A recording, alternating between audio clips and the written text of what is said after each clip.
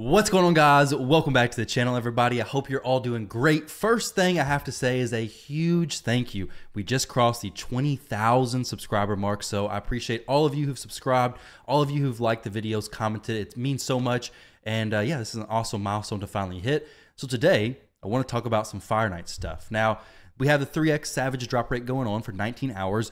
I kind of wanted to rush this out as soon as possible. This is going to be on stage six. Honestly, Fire Knight is a disaster. Okay, it's an awful, awful dungeon as far as the tuning of it because these stages down here, specifically nine and ten, you really have to have specific champions like Cardiel and Valkyrie. You see them all over the place. But even doing stage six, let's compare it to stage 25. It's the exact same energy, so 20 energy all throughout all of these. Versus 25 is also 20 energy. So hard mode stage 6 versus stage 25. So we're on the HellHades website right here going over some of the drop rates. So this is stage 25 normal right here. So on stage 25 normal, you have a 4.16% chance to get six star legendary artifacts, 10.2% chance to six star to get six star epic, 17.6 to get six star rare. Now on stage six hard, you have a 0.96% chance to get mythical six star gear. It's a very low chance, very, very low chance, but it is a chance. You have a 5.12% chance to get six star legendary, so that's more than on stage 25, as you can imagine. 10.24% uh, chance to get six star epic gear, which on six star, yeah, six star epic gear, which on stage 25 normal is exactly the same. And then a lower percentage chance, which considering you got a chance now to get mythical gear, to get rare six star pieces of gear. So obviously for 20 energy, if you're able to do stage six, it's gonna be worth it to do stage six. Let me show you guys what champions I'm using and this will help you know if you're gonna be able to do it, right? So we got a lot of Artak teams already. Um, this is no Artak involved, okay? So this team right here, this is gonna be um, Fire Knight Hard, which I realized that typing, that word looks pretty weird. FK Hard, like I gotta be, gotta be careful with what I save to my PC um, because my wife's gonna be like, whoa, whoa, whoa, what? Fire Knight, I promise, it's Fire Knight Hard 6, all right? Fire Knight Hard 6, I saved an image earlier of the run. Um, actually, let me go ahead and pull that up real quick. So we have FK Hard right here. This is the run, okay? Two minutes and 48 seconds. That's a pretty nice run, in my opinion. Now, let me go ahead and start this, and then we'll go over the gear of all the champions. And I do want to give a disclaimer, okay? This team I've not thoroughly tested. I haven't done 100 runs with this team. So far, it's looked safe. I don't think it's going to be 100% though, because there's some times where the Fire Knight did get some hits through. The Cold Heart got a little bit low on HP. She was sitting at like 1 HP at one point. I've done about 10 to 15 runs, I believe, and it's looked very, very safe. That one run though, Cold Heart was very low HP, but the shield from Mithrala is a huge help. The shield from Helicath's a big help. We have consistent increased defense from the Helicath's block damage when it falls off we get the increased defense. So overall, this team has a lot of good stuff to make it very consistent. And even if the Cold Heart died, I'm not 100% sure the run would fail because Cold Heart's bringing good damage, but we also have good damage coming from Mithrala, from the poisons. The decreased speed from Stag Knight is still there. We don't have any poisons from anybody else. I've actually turned off Fahrakin's A2 ability. I'll go, I'll go over all of that in just a little bit. I actually have some notes that I want to share with you all um, because there's some specific things to this team so spe- specific things to the team, as well as the speed tune and the positioning of the champions, even in the team preset or the team setup in the beginning, that's actually pretty important. Okay, so when we start off, you'll notice that we have Mithrala opening with the A1, we have Helicath opening with the block damage, and then everybody else is basically doing their A1 abilities. We're really just waiting for that first hit from the Fire Knight, placing that decreased defense and decreased speed. This is why Mithrala opening with that A1 ability is so important, is because, well, apparently we don't have the A3 off cooldown, so unfortunately she's not able to cleanse that. Usually she's able to cleanse all the stuff that Fire Knight just placed. She did it just now, which is excellent, but I would have rather her done that, you know, the very first turn. That can mess up because of the previous wave, depending on when she actually kills everybody, when she casts that A3 ability. I could turn it off, but I had a little bit of weird situations before, so maybe I do try to turn it off on that previous wave. We'll see maybe it's worth changing because I do like her cleansing that decreased defense and the decreased speed as soon as possible. And then we have the Fahrakin constantly using the ally attack. I actually have him in reflex plus a few pieces of um, refresh accessories. I believe is what it's called. I forget. Um, basically, the ones that can prevent the cooldown. So we have reflex gear and then refresh accessories. So basically, Fahrakin's only using the A1 ability we have the A2 turned off because I want any cooldown reductions from the reflex gear to go only to that ally attack ability. So turn off the A2, which I'll go over all that in just a minute. So he's using quite a bit of the ally attack, which is what's going to make this run so fast. And then the times we don't have the block damage up, we probably have increased defense. If we don't have increased defense, we probably have the strengthen. So majority of the fight, we're pretty well protected, whether it's increased defense, strengthen, a shield, block damage. And then we have good poisons. So we have Mithrala play poisons. We have Cold Heart, very, very important. She brings that enemy max HP hit, no turn meter reduction because the Fire Knight's immune. More importantly, she brings the heal reduction. The heal reduction is so, so good. That max HP speeds up the run, but that heal reduction makes the run possible because once that heal reduction goes away, these poisons aren't really doing damage. They're just mitigating the heal from the Fire Knight. So then you're relying on the War Master procs, the Giant Slayer procs, and things like that. So let's go ahead and talk about the Champion's gear, talk about the presets, sell these disgusting flat stat boots, um, flat stat shield set. Shield set's already power crept from bolster. Like you don't really use shield set that much, um, but especially not flat stat. Definitely not re-rolling that. So as far as the presets go, if Helicath opening with and then not using his A3 ability, round one, round two, and then round three, prioritizing the A3. Uh, very, very important. If your team, for whatever reason, is too strong and you're killing that wave two before Helicath is able to have that A3 ability off cooldown for the start of round three, then go ahead and just turn off this A3, okay? You don't want to risk not having it ready for the actual Fire Knight. You want to have the best chance of success as possible, right? So Fahrakin, round one, round two, we don't use the A3. We want it ready for round three. So the A3 is turned off, and then round three, like I said, we open with the A1. I want to make sure after the Fire Knight does the big slam, then he's reset his turn meter, that we have the A3 ability. Also, we turned off the A2. The A2 is good. The HP burn is good. The poisons are very solid. But using the A2 now gives the ref, uh, reflex gear a chance to reduce the cooldown of the brand of shame, the A2, versus only reducing that cooldown of the A3. So anytime you have champions in reflex gear, if you only want the cooldown to be reduced, say on Cold Heart's A3 ability, just turn off the A2 ability. Only use the A1 and the ability you actually want to be reduced on the cooldown. Same thing with Geomancer.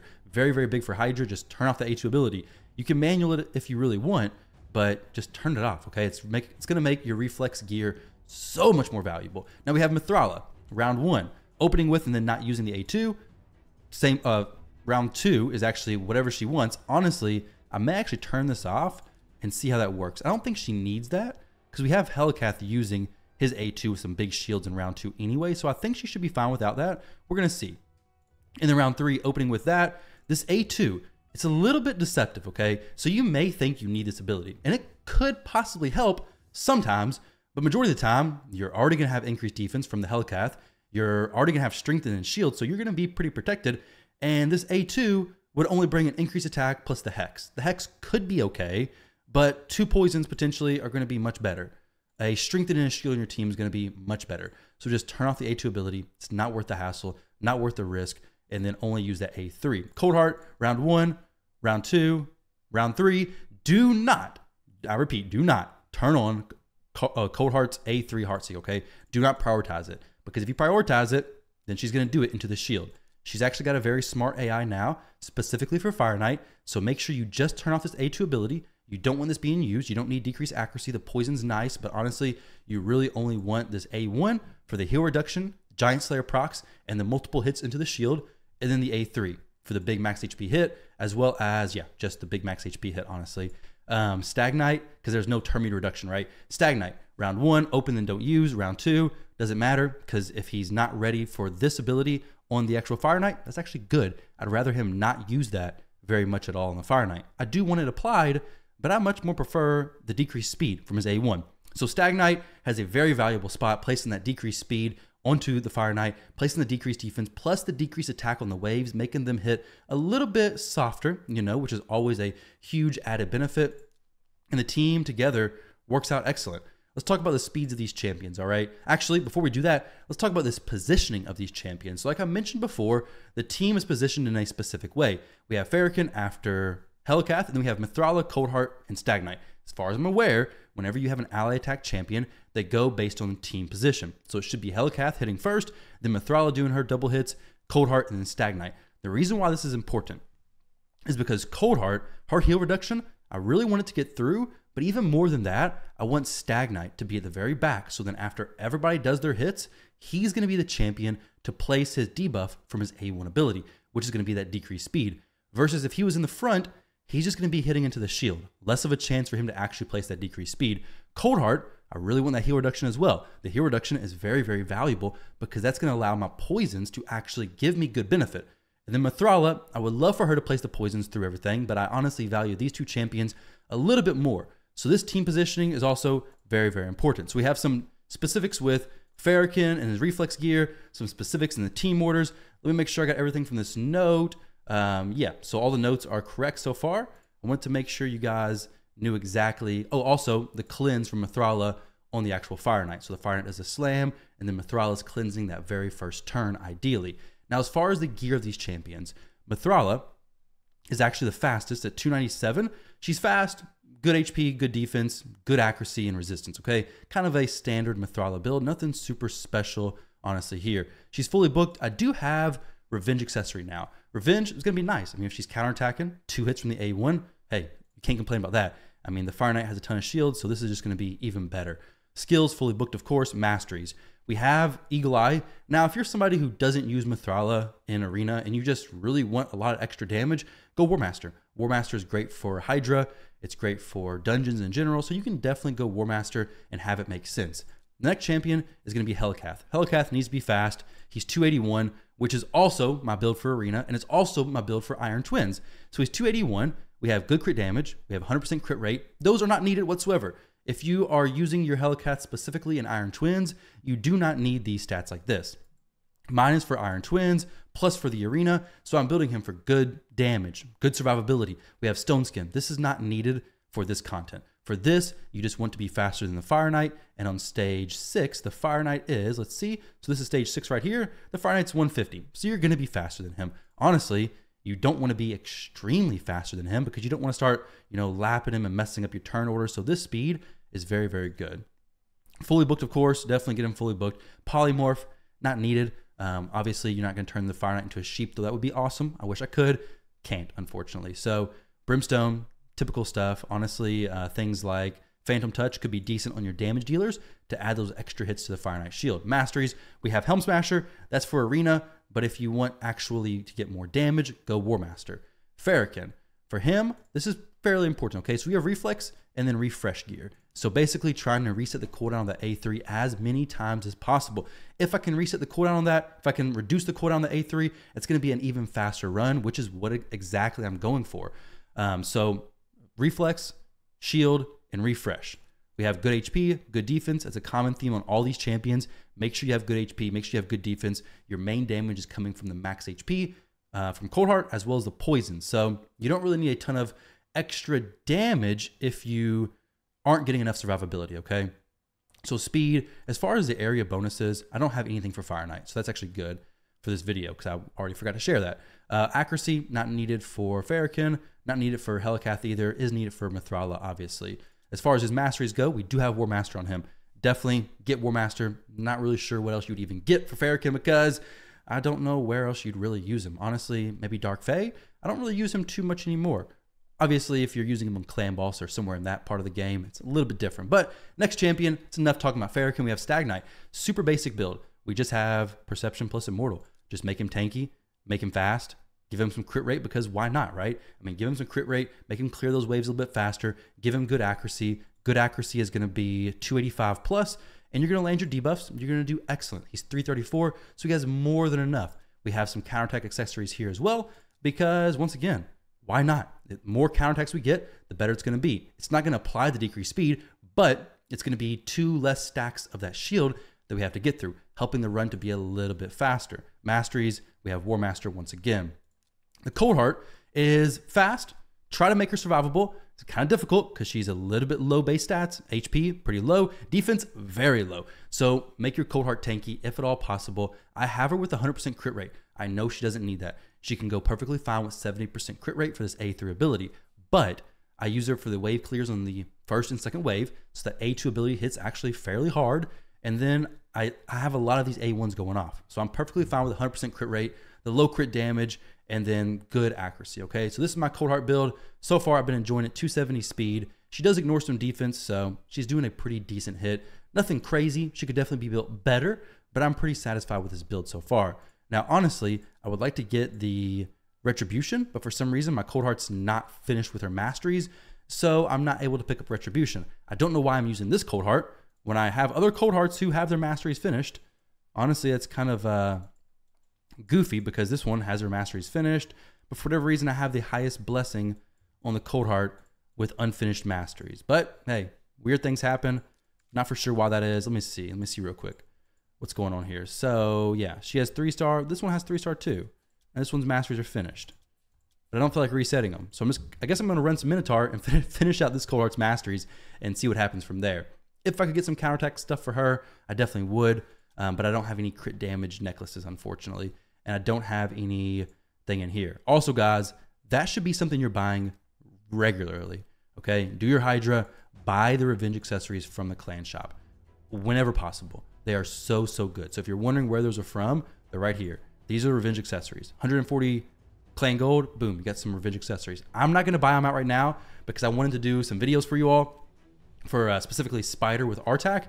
And unfortunately, I'm very low on gems, very low on energy. So any likes, comments, and subscribes on this video will help me in some way, I guess, towards that. So I'm not going to be buying those accessories right now. I do highly recommend it though. I'm probably going to be buying some energy from the clan shop because that's just what I have to do. Uh, so hopefully this very in-depth explanation of this run gives you guys some, you know, I guess clarity on how to set it up. And then obviously get some HP percentage wherever you can, okay? Get more HP percentage chest, whatever it may be, get that where you can. If you guys want to copy this, okay, that's not actually RSL helper screenshot, so never mind. I should start providing the RSL helper screenshots um, because it shows the champion stats. It doesn't show the champion's um, area specific boosts, I don't think. So maybe I could include that somewhere else. Uh, but I think the RSL helper stats could be nice. So maybe I do include that down below or something. Uh, maybe in the comments, figure it out. Maybe upload it to Imgur or something. I don't know, but I think it could be useful for you all. Uh, this wave, this is what I was worried about. Okay, so this is why having Mithrala with that cleanse is so important, even on this wave, because as you can see, it's a little bit a little bit risky. So I guess it's whatever you want to weigh out more. Do you want to have the Fire Knight be more consistent because you have the cleanse ready more often, or do you want this to be safer? Like I don't. I guess it depends on whatever you want to do. Honestly, I think it's probably best to have her using the A3 whenever on this wave, and then using it also on the Fire Knight. Hopefully, it's during the right time. She's going to be using the A1 opening with so super low cooldown as it is on that A3 ability. Um, this may not make a huge difference, honestly. So it may not even really truly matter. Surprisingly, she got the decreased speed applied to her. Let's see how this plays out. May not be a huge difference, like I said. So we are going to be able to apply the decreased speed and the heal reduction, which is very good. We got some poisons going already. This may make it a much a faster run in general, um, but it's really up to you. Like now, all that is irrelevant. So if you're struggling on the second wave, make sure to keep that cleanse on. It's going to help you out a lot, especially when they place the decreased defense, all that kind of stuff. Having the strengthen, having the increased defense, having that big shield, very, very helpful. Um, but if you're surviving perfectly fine, maybe turn it off. Maybe only use the cleanse on the Fire Knight. Make sure it's at the right time, and you should be in a pretty decent spot. So boom, working the fire, working the Fire Knight down pretty quick. May actually get the best time here. We're at two minutes and 15 seconds almost. Uh, Fahrakin, we need to get some more of those ally attacks. Earlier, I saw him use it, I think, two, possibly three times in a row. But you can see the cooldown's super low because every time he's getting a cooldown reduction, it's going only to that A3 ability. It's not reducing the A2. The A2 would bring the burn, which could be nice, but I don't want that being reduced on the cooldown. We have the block damage, which is a huge help from the Helicath. It's going to help me survive that much longer. I mean, can take no damage from that. We still get the debuff supplied, but hopefully we can just kill it and not have to worry about this uh, two turn, the decreased speed and the decreased defense actually ever coming back off cooldown. This may be the way to get a faster run though in general, honestly. Having the cleanse specifically saved for the Fire Knight may add for a little bit faster run. You can see Cold Heart there, a little bit low on the HP. She's okay. She has the increased defense. She may have had a shield. She's not died yet. But even if she did die, I don't think it would have been the end of the world. I think we would have been fine because the the poisons would have killed the Fire Knight there. So now we kill at 315. Not too bad. Not too bad at all. Now, hopefully, we start getting some mythical six star gear because that's really what I'm here for, right? Mythical six star, but even a better chance at getting six star legendary pieces of gear. So, guys, hopefully, this helps you out. Hopefully, you can see something useful in this team. Whenever any champions who don't have uh, blessings, just throw on Phantom Touch, honestly. Phantom Touch is going to help you do extra hits to the Fire Knight Shield. It's going to be solid overall. Phantom Touch, uh, things like, what is it, Cruelty, reducing his de- uh, defense on those other champions can definitely be beneficial. Reducing their defense, yeah. So very solid there as well. So guys, with that said, thank you all very much. Also, again, thank you very much for the 20K on YouTube. Very, much, very much appreciated, guys. Hopefully you'll have, have a great rest of your day. Good luck farming Fire Knight for some Savage gear. We got 3X event going on, which really just means uh, your hopes are high and your disappointment is also equally high. Either way, guys, thank you again, and I'll catch you in the next video.